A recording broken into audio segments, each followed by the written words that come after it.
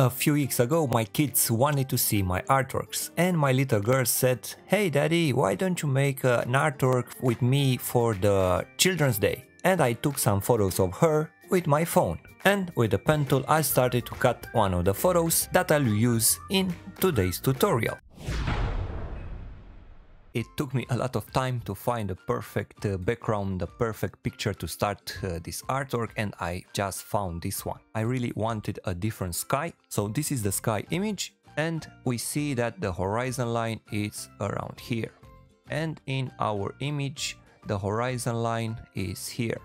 So that means we need on uh, this one to press Ctrl T, hold Shift and uh, move the top area to the bottom so we can match the same horizon line with the sky one. So now we have the same horizon line. The next important step is to remove the blues, the sky and to keep the trees. How do we do that? It's really easy. First of all, let's duplicate this layer. So hold Alt and drag the layer underneath that will make a copy. Or you can press Ctrl and J. And for the moment we are going to hide it.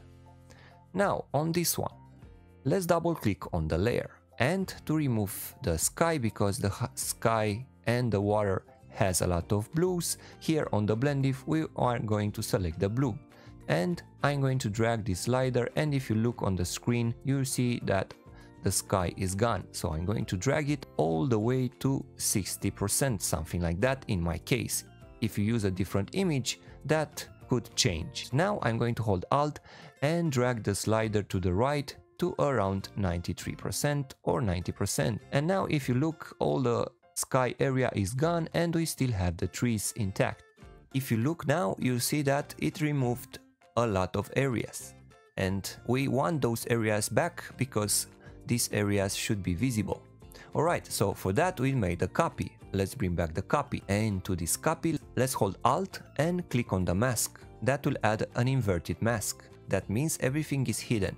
And now to bring back some parts on the mask, let's take the brush tool and with the white color we are going to paint and if you look on the screen you'll see that by painting with the white color we are going to bring back some parts of the areas that we removed when we use the blend if. Here on this part we have some waves and those waves do not look natural because in the original picture the water looked like that. I'm going to hold alt on the layer with the sky or press Ctrl J to make a copy, hold alt and click between the layers to add this one the copy inside the original one. And now I'm just going to uh, move it a bit where I think the waves look great and I'm going to hold alt again and click on the mask to have an inverted mask again. And now with the brush and the really low flow around 10% I'm going to paint on the areas here on the shore to bring back some parts of the copied layer because on the sky we have um, a portion with a lot of light where uh, the sun is casting some uh, light, some uh, rays of light I'm going to duplicate again the layer with the sky. I press Ctrl T, right click and flip it vertically. That will be a reflection of the sky in the water because we should have a reflection of that area. And then again the same thing I'm going to hold alt click on the mask that will add an inverted mask and I'm going to paint on some areas and that means that reflection of the sky will be in the water now Next thing is to add a brightness and contrast adjustment layer where I'm going to decrease the brightness and increase the contrast. Then a selective color where I'm going to modify the reds and because we have these colors on the sky I added a color balance on the trees and the other areas where I have modified the midtones. And now here on the left side I didn't really like the selection of the trees. I found this uh, picture and I really loved the position and the way the trees looked. And I'm going to do the same thing with the blend if so double click on the layer and here select the blues and drag the slider and play around with the settings and uh, hold alt and drag the right slider to the right. And now the trees look really really well. And then I'm going to hit OK. We still see the city for that. I'm going to add a mask and with the black color and a higher flow I'm going to paint on the areas that I don't wanna see. And then I decided that uh, this scene should be a night scene. So to transform this really really fast into a night scene, we should add a color lookup. So click here on the bottom and choose color lookup. And here on the 3DLUT we can use night from day. And that will automatically make our day night. And because I really didn't like the colors here on the sky, I added a new layer and I have set it to color. Then I took a cyan color and I started to paint on that area of the sky and then I double click on the layer and I hold alt and drag this slider more to the right and then I decrease a bit the fill. Then because this area was too bright, I added a levels adjustment layer where I have decreased the brightness. And I did exactly the opposite with an exposure adjustment layer where I have increased the exposure, the lights on the right area. Then I have placed my little girl, my daughter here on uh, this uh, part. First thing, I needed a contact shadow, so I uh, painted a shadow on a layer set to multiply. I copied the same color lookup adjustment layers, then I added a levels adjustment layer to make her even darker and with an exposure I made the, her right side brighter. Then I have painted this wand and this star in her hand and now let's move on to the jellyfish.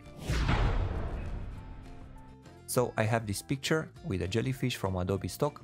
First thing was to set the blending mode to screen and because I could still see the background, the blue area, I will add a levels adjustment layer.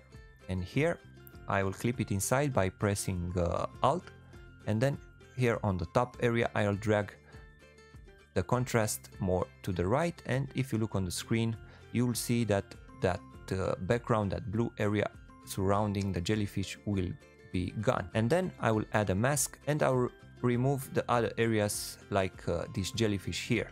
Alright, so now I have uh, this jellyfish ready to paint over what I wanted. So if you watch my previous tutorials, you know that I use this method a lot and you should watch this tutorial because there I explain step by step how to do this. So first thing, create a group, set it to screen and inside the group I'll create a new layer and I'm going to fill it with black.